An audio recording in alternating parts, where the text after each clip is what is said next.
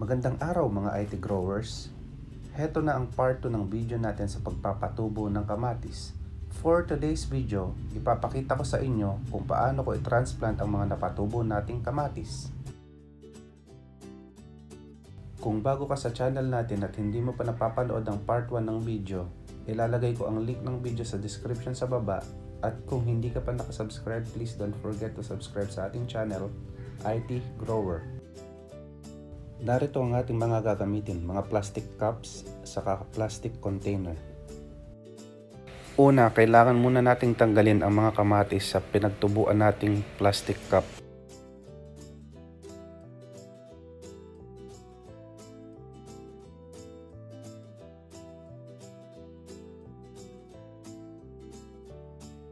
Kakailanganin din natin ng lupa o garden soil.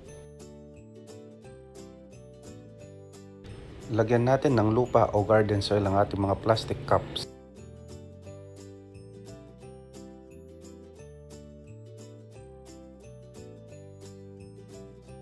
Kailangan natin paghiwa-hiwalayin ang ating mga kamatis. Sa ating pagtatanim mamaya, pipiliin lang natin ang mga malalaking kamatis o yung mga kamatis na magaganda o diretso ang tubo.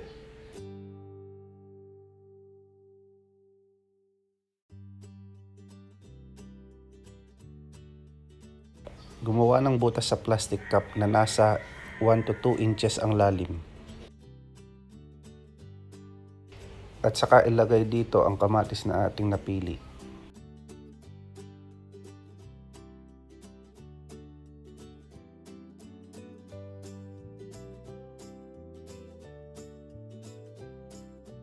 Sa mga medyo malalaking container, nagtanim ako ng dalawa hanggang tatlong kamatis.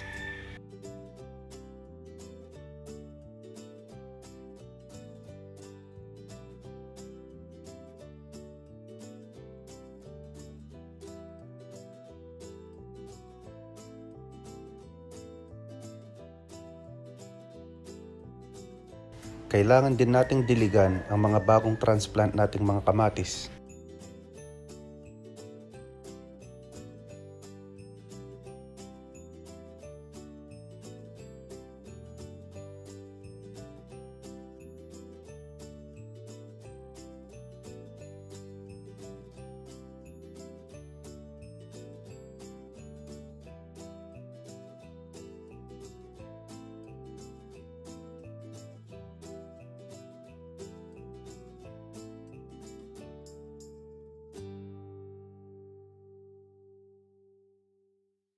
Kailangan natin silang ilagay sa lugar kung saan hindi sila direktang masisikatan ng araw sa loob ng tatlong araw. After 7 days, heto na ang ating mga tinanim.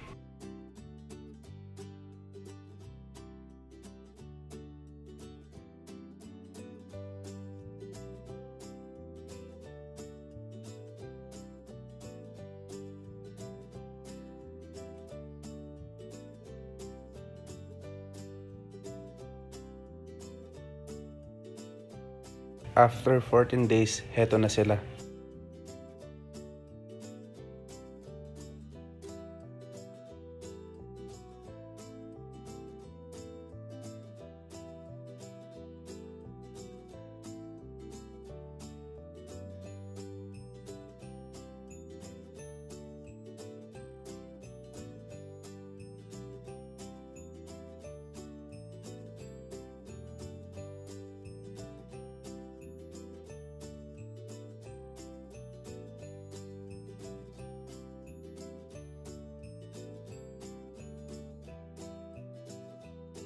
After 21 days, heto na ang ating mga tanim.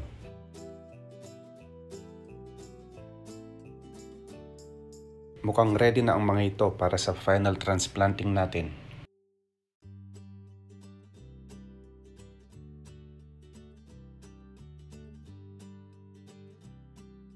May part 3 ang video natin. Sa susunod na video, ipapakita ko naman sa inyo kung paano ang gagawin kong final transplanting sa ating mga tanim na kamatis. Kaya kung hindi ka pa nakasubscribe sa ating channel, please don't forget to subscribe.